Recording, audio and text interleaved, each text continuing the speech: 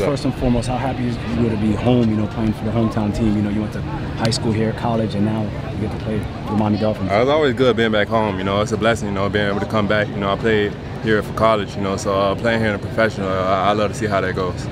Right to be in Miami on a practice field after you know your your U days. Uh, yeah, it feels good. You know, uh, my first day, you know, I didn't practice, but I did a little bit of individual drills. You know, it felt real good. You know, just being back in this heat. You know, uh, you know, I always got to get acclimated with that. You know, but I trained down here for a couple weeks at Bommarito's. You know, so it, it, feels good just being back home. So what kind of a healthy competition will it be here with you know Stills and Grant?